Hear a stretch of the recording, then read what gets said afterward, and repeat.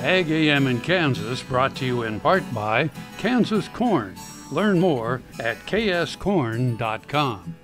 Hello and welcome to Horsing Around. I'm Dr. Chris Blevins at Kansas State University Veterinary Health Center. Today, joined by Dr. Dylan Lutter. Uh, he is a board certified surgeon here in large animal at Kansas State and uh, assistant professor and does a lot of the emergency uh, work here at the at the vet school. So welcome. Yeah, thank you for having me. Uh, you know, I think that uh, something that's always important to go through that a lot of horse owners, you know, they're very leery about is colic surgery, or if a horse would need to go to colic surgery, some maybe misperceptions of that, or just being comfortable with that situation and, and potential options for that. So could you go through um, kind of if an owner or even that referring veterinarian is getting ready to potentially refer maybe to you in, at night or uh, even during the day, when is the best time to try to figure out when surgery may be a needed option? Sure, Chris. Uh, that's a very common question we get, and a lot of people have a perception that uh, the colic is really bad. It, it may not be worth going to surgery. And uh, I think the most important thing to keep in mind is uh, the sooner that we can get the horse here, the better. Uh, once it sort of becomes evident that uh, this is not just a routine run-of-the-mill colic that one vet visit uh, isn't going to take care of.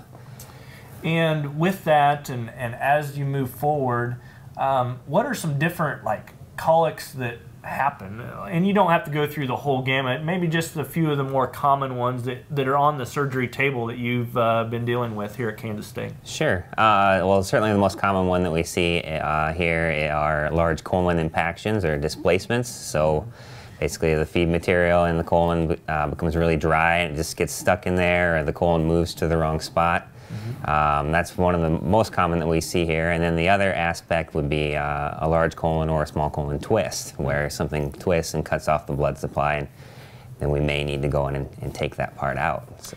And I think that's something where, too, some uh, owners think, well, if you take out part of the bowel, that horse isn't going to do well. What's the aspect when you have that conversation? Maybe there's devitalized small intestine or large intestine. What is that kind of uh, communication with the owner?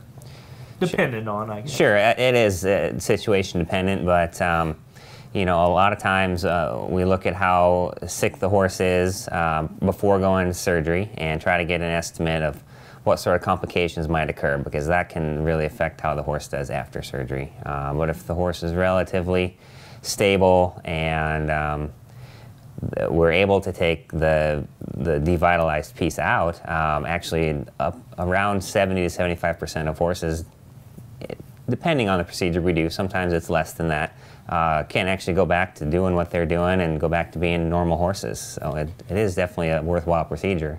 I think that's stuff that uh, owners need to remember is just because they're going to go to surgery doesn't mean they're going to have a life-changing uh, situation where they can't go back to. It all depends on the colic, obviously, but uh, success rate uh, can be fairly good, and, and, it's definitely better than just a 50-50 chance. Oh, definitely, and well, and especially for the, the displacements and impactions that I mentioned, uh, that can be up uh, greater than 90% chance. So it's worth worth having that in mind. Yeah.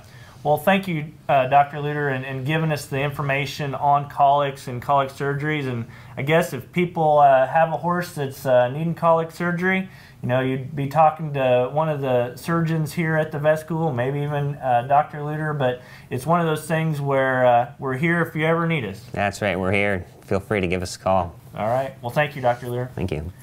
I'm Dr. Chris Blevins for Horsing Around, and we'll see you around.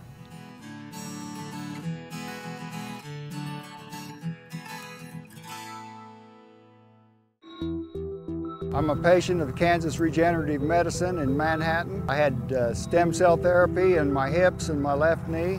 My wife and I uh, both are patients. We went down there the same day in November. Since then, uh, my hips are feeling a lot better. I can, can work now most of the day if I want to. And uh, before, if I, if I worked in the morning, I was done in the afternoon, or if I worked in the afternoon, um, I was sure enough done for the rest of the day.